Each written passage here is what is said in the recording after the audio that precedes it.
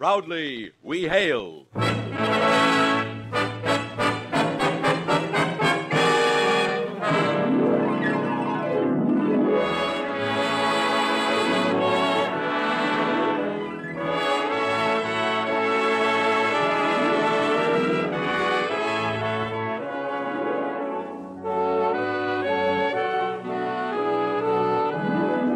From New York City, where the American stage begins, here is another program with a cast of outstanding players.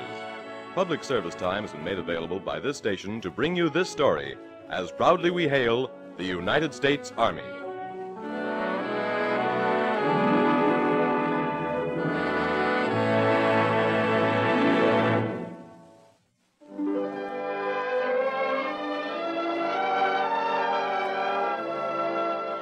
Some fellows are born to be kidded, to be taken advantage of. In short, to be patsies. But in wartime, you should never sell anybody short, not even a guy like Freddie Carter. You're going to like Freddie after you get to know him in a story called The Worm Turns, as proudly we hail the United States Army. Our first act in just a moment. But first, young man, if you're interested in continuing your education, here is important news for you. The United States Army urgently needs qualified technicians to operate and maintain the many kinds of equipment that science has developed. Right now, men are being trained in such varied fields as radio, radar, meteorology, mechanics, electronics, photography, and many, many others. This training is given by the finest technical schools in the world. It's an excellent opportunity for young men with intelligence and ambition, and it can be the start of a great career for you. For full details, visit your nearest United States Army recruiting station. Do it soon.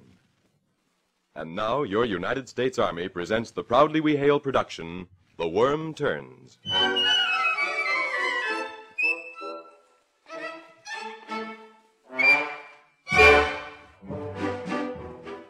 Did you ever hear people say things like, the worm turns, or uh, every dog has his day? Sure you did.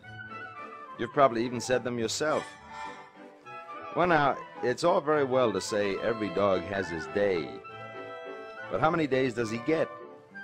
Likewise, when the worm finally turns, what does he turn into? if all this sounds like pretty heavy philosophy for an infantry first sergeant, all I can tell you is that a first sergeant has to be a pretty good judge of men. Well, how do you judge men?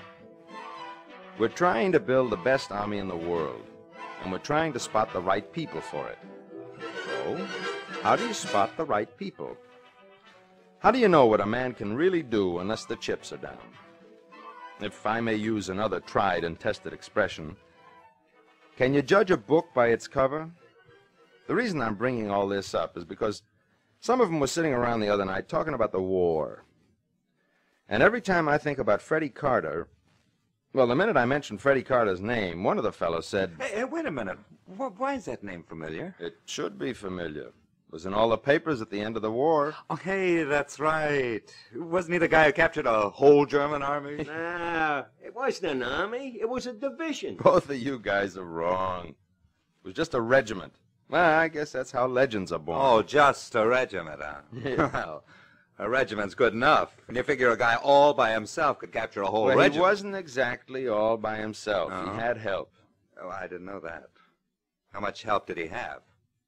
Well, I was with him. Not that that should take anything away from the guy, because he really didn't need me at all. Boy, I remember him that day. It was a one-man army. Yeah, but how does a guy, one guy, capture a whole regiment, Sarge? Let me tell you something. One guy can do anything. Yeah. The thing that got everybody was who this one particular guy was. Of all guys, it turned out to be Freddie Carter. Let me tell you who Freddie Carter was. I met him back in 1943. I was the squad leader in a rifle company. Freddie was transferred into the outfit right after his basic training. Now, he was the kind of guy who hardly ever opened his mouth. You'd never even notice him, you know? But you always knew he was around because his name was always on somebody's lips. Hey, Jack, I got a date with a real sweet number in town. She's got a friend. Wouldn't you know it? I'm on guard duty. Can you get somebody to pull it for you? Yeah? Who? Ask Freddie. Yeah, that's an idea. I'll ask Freddie.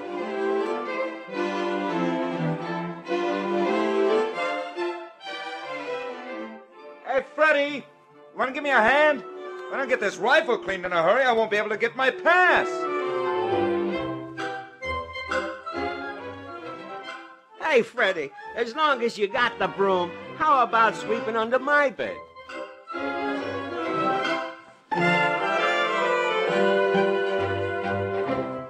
Well, that's how it went. Human nature is human nature. Doesn't make any difference whether you're in a college, shop, or the army. Anytime you get a guy who's a natural born patsy, the fellows he's with are going to take advantage of it. They just can't help it. And the funniest thing of it all was, Freddie didn't seem to mind a bit. Anything you did, or anything you said, was okay with Freddie. Like the time we were all sitting around the barracks talking baseball. Now, Freddie was a Yankee fan. Originally, he came from New York. Now, maybe this is just a little thing, but it does help give you an idea of the guy. They're the greatest club in the world. Look at all the pennants they've won. The ball players they have. Ah, that's because they're in New York. They got all the big papers and the top sports writers. Now, you want to talk about a great team? Talk about the Cardinals. Now, there's a team that really plays ball. Yeah, yeah, well, I guess you've got a point there. Mm-hmm. Well, it got pretty bad. I mean, he was a swell guy and a pretty good soldier. The way everybody took advantage of him almost amounted to a scandal. Well, I felt I was his friend. So one night I took the liberty of having a little talk with him about it. Look, Freddie, I'm not an English teacher, but it seems to me there's one word in the English language I should think you ought to learn. Yeah? What? No. It's spelled N-O. Now, it means... Well, it means no. Ever hear that word, Freddie? I never heard you use it. Sarge, what are you talking about? Freddie, it's none of my business. I think you're a pretty good guy. I just hate to see everybody playing you for a patsy. What do you mean, Sarge? Hey, you're not kidding, are you?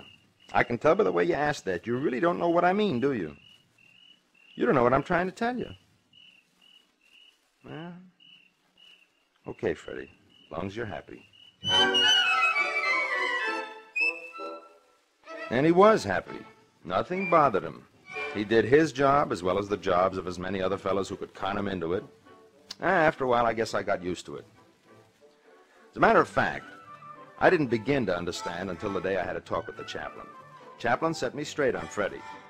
The reason I happened to speak to the chaplain was that I knew him quite well. He was the younger brother of the pastor of my own church back home. Every now and then we'd get together and chat about the hometown, you know. I told him about Freddie, and one thing I must say, he certainly had an interesting point of view. Oh, there are lots of people like Freddie Carter in this world, Johnstone. Quiet people. People who desire peace more than anything else. Don't underestimate these people. Yeah, well, Chaplain, aren't you making a little bit too much of this thing? He's a patsy, that's all. Maybe he just likes to help his friends. Well, can't you carry a good thing like that too far? Who says so, Johnstone? And what is too far? Well, I just wish the guy would just assert himself one time. He will, when that one time comes. Yeah, when will that time be, Chaplain? Now you're asking me to read the future. You feel sorry for Freddie.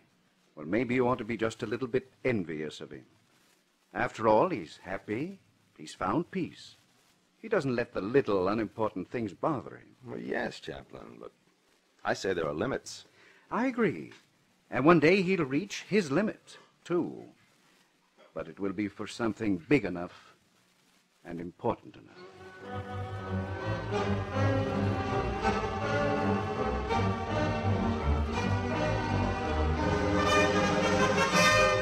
Well, right after that, it was a pretty hectic time around our place.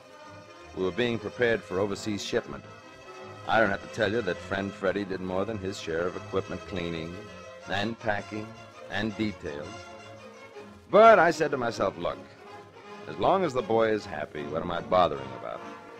Then, almost before you knew it, we were on the train, in the port of New York, and on the boat, and overseas, and D-Day at Normandy. I tell you, I look back over that time, and to tell you the truth, it's all pretty much of a blur.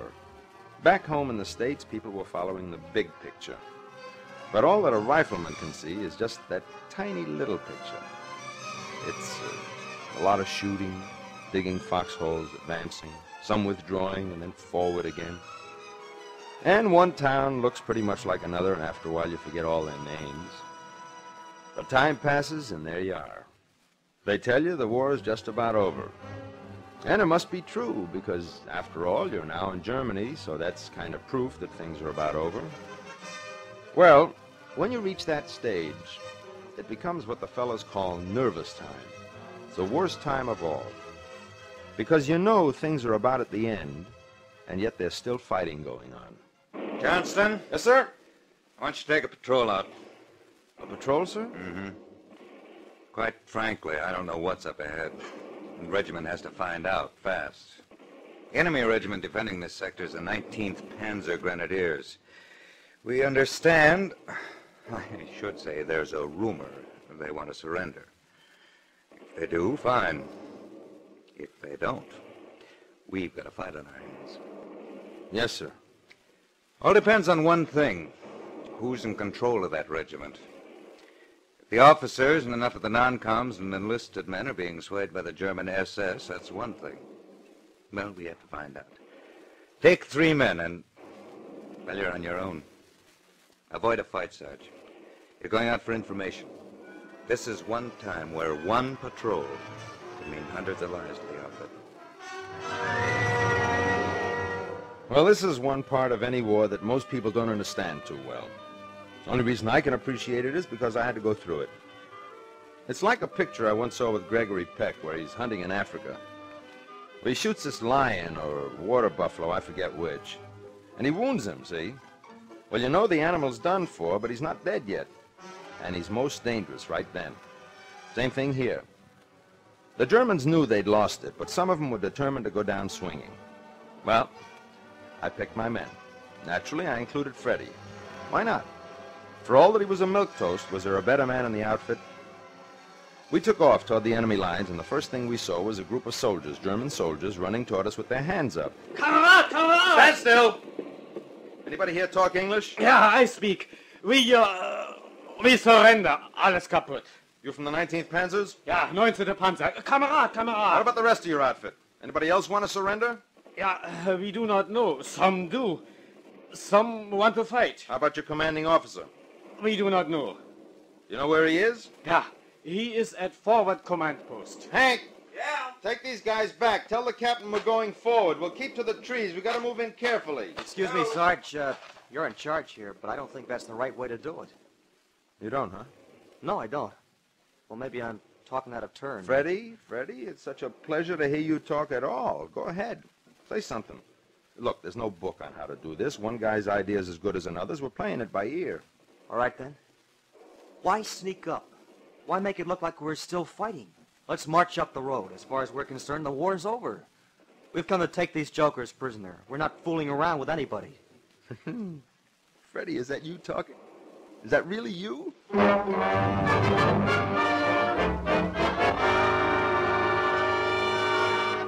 You are listening to the Proudly We Hail production, The Worm Turns. We'll return in just a moment for the second act. The man who measures up will succeed anywhere. For a life of excitement and adventure, join your United States Army.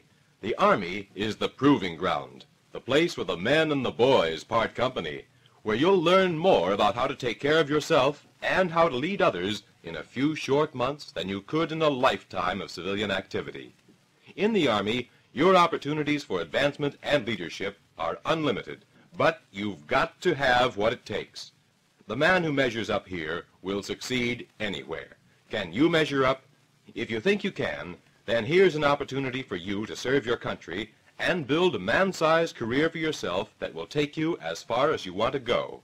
Today's United States Army is comprised of skilled technicians and specialists who have learned their jobs in the world's finest military technical schools. And now, the Army is offering you even greater opportunities to join this elite group of young men and serve your country and yourself at the same time. Your Army now has in operation a training program that permits you to choose your own branch and train in the particular job of your own choice. It's called the Reserved for You Training Program, and it works this way. If you're a high school graduate of service age, you visit your nearest United States Army recruiting station and make application for the Reserved for You training program, stating your preferences of branch and training course. If you qualify and a vacancy exists, you're awarded a letter that guarantees you a reserved seat in the technical training course of your choice. Now, all this takes place before you enlist, and it places you under no obligation whatsoever. Then, after you enlist and have your basic training, you're enrolled in your school and begin your career as a highly skilled Army technician. We suggest you find out about it right away by visiting your nearest United States Army recruiting station and talking it over with the friendly people there. You are listening to Proudly We Hail, and now we present the second act of The Worm Turns.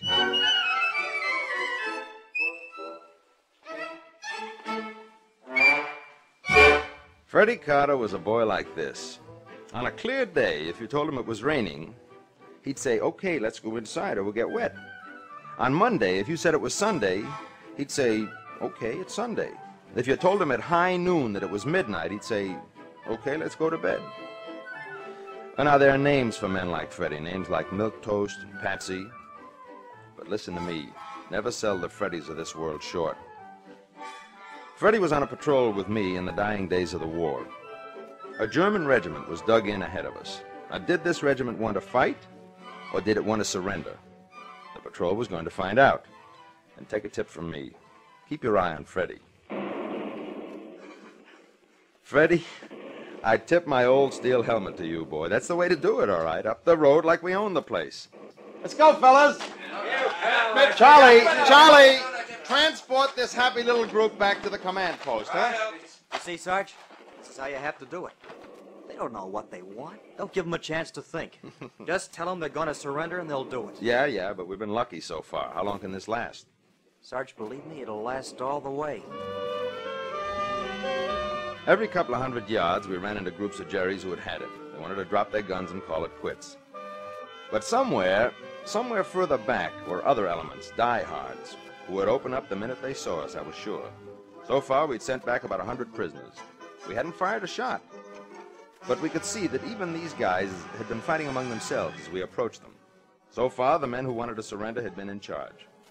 Now, would we run into a group that was controlled by the other guys? Well, that question was soon answered, because we ran into a group that was controlled by neither. We ran into a company that was made up of guys whose attitude was wait and see. Halt! Uh-oh.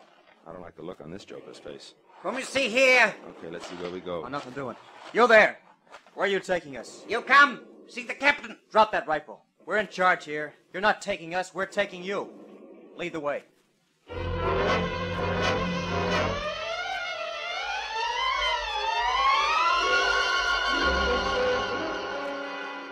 We're an advance patrol. We've come here. You come here to take your surrender. Surrender my company to two men? Who cares about your 2x4 company? We're come to take the whole regiment. Surrender or don't surrender is all the same to us. You're finished and you know it. What's the difference how many of us there are here? You've got a pretty good idea of what's in back of us. Uh, what are we wasting time talking to you for? Where's the commanding officer?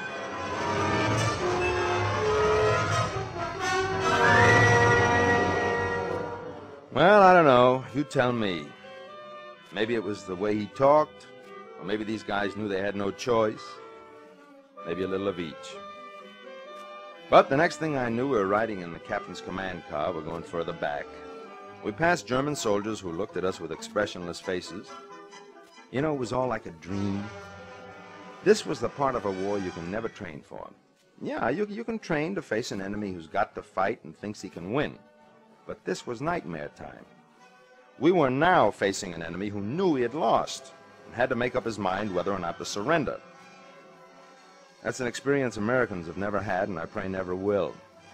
The end of it, when all is lost, army is licked and you're looking for a way to save face if you can.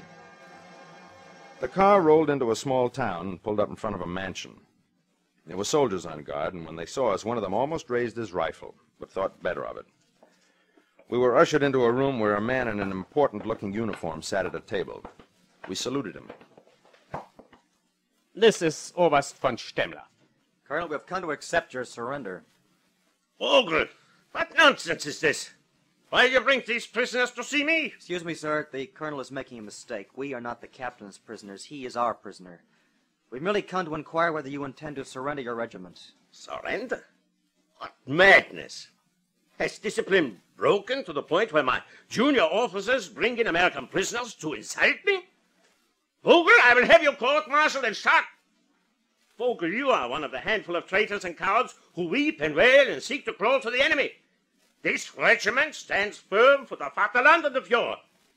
We shall counterattack. We shall drive this invader back to the English Channel. All right, sir. You had to say that.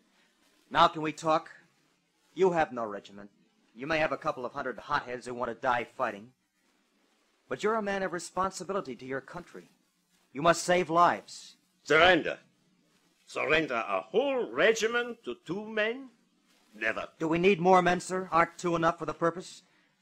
Sir, it makes no difference to us. Take it or leave it. I will only surrender to an officer of equal rank. The best we have here is a staff sergeant. I will not surrender to a non-commissioned officer. Sir, you are absolutely right. It is not fitting for a man of your distinguished background to surrender to two mere enlisted men. But we are offering you more than just an opportunity to surrender. Yes? We are offering you a place in history. The world will know about Colonel von Stemmler in a new light.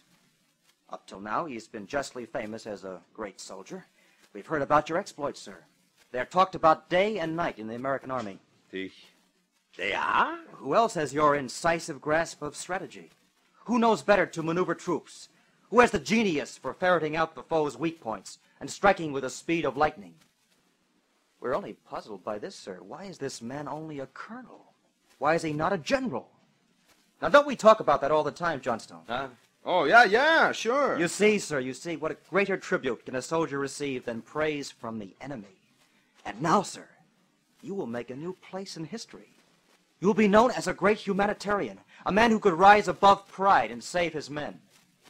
Now, any colonel can surrender to another colonel, but the colonel who surrenders to a sergeant, he is a man among men. Vogel! Jawohl, Oberst! We are going to surrender. Order all elements to lay down their arms. But, Herr Oberst, Have we a choice? Uh, what is your name, soldier? Corporal Freddy Carter, sir. Carter. I surrender to a corporal named Carter. I, Oberst Wolfgang von Stammler. Yeah, the world has turned upside down.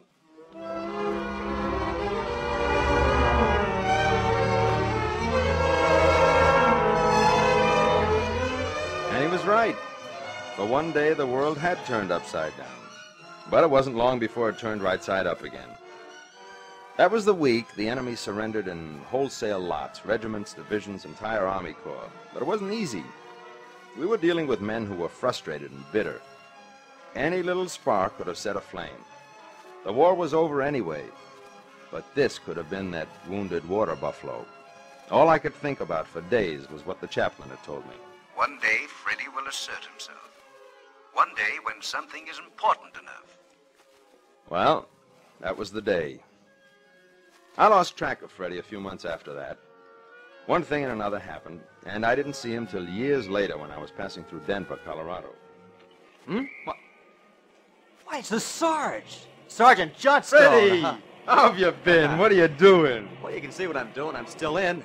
I transferred to the medics back in 48. Oh, huh? I'm Sergeant Major of the hospital here. Well, how about you? Me? Well, I'm still with the foot soldiers. Huh? On my way home to Frisco. The wife's having a baby. Say, that's great. You finally settled down and got married, huh? You still married, Freddie? oh, sure. Why not? Oh, just asking. Remember, I met your wife. When was it? Back in uh, uh, 43, I guess, just before we went overseas. What are we standing here for? Come on home and have dinner with us. Oh, well, look, I got a train to Oh, catch. come on. Make the next one. Well, we can't just bust in on your wife like Oh, this. she won't mind. She'll love it. Look, I won't take no for an answer.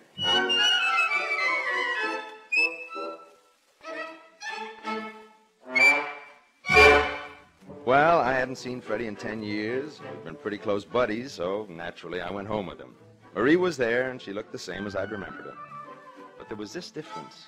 Oh, I remember you, Sergeant Johnston. Uh, look, I, I hate to barge in on you like this without notice, but Freddie wouldn't let me go. Oh, that's all right. I hope so.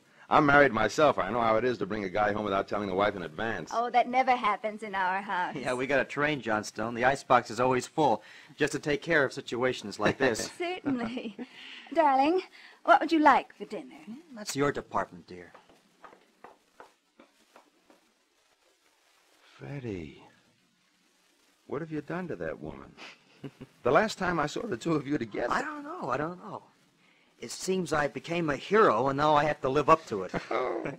she just stands there and waits for me to order her around. And there are times I wish we never went out on that patrol and captured that Jerry regiment. You know something? I never acted that way before. I just hate to order people around. Uh-huh. Well, you know something? Maybe that's the secret. Maybe that's why you do it so well. Darling, how about a shrimp cocktail, steak, and a salad? That'll be fine. Be ready in a little while. You know, sometimes I wish you'd just serve me hash. Well, what can you do? You're a hero, and you're stuck with it.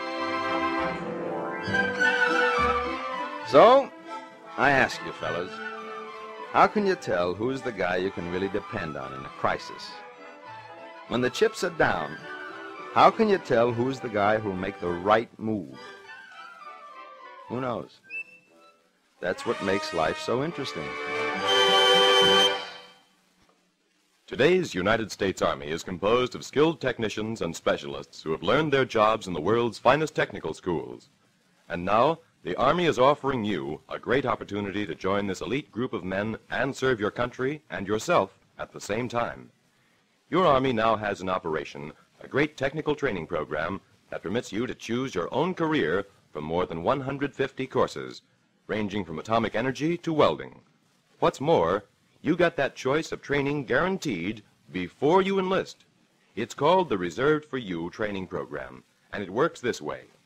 If you're a high school graduate of service age, visit your nearest United States Army recruiting station and make application for the Reserved for You training program, stating your preference of a technical course. If you qualify and a vacancy exists, you're awarded a letter that guarantees you a reserved seat in the technical training course of your choice. Now, all this takes place before you enlist, and it places you under no obligation whatsoever. Then, after you enlist and complete your basic training, you're enrolled in your school and begin your career as a highly skilled Army technician. Find out about choice, not chance, now. Visit your nearest United States Army recruiting station and talk it over with the friendly people there.